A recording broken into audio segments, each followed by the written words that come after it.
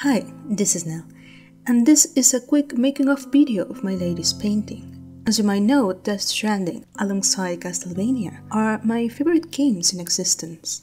To celebrate the release of the director's cut version, I decided to create a fan art. I started by making four sketches and asked in my socials which version everyone preferred. I made polls on Instagram, Twitter, and dedicated Facebook groups. The C one won in Level Up, since level up users outnumber everyone else. Technically speaking, C1, but since we are being democratic by county and not by individual users, and since I already had spent time 3D modeling Sam's weird ass shoes, I decided to go with D this time. I will leave you with a time lapse of the process next.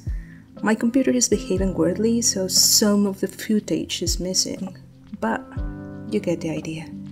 Have a wonderful day.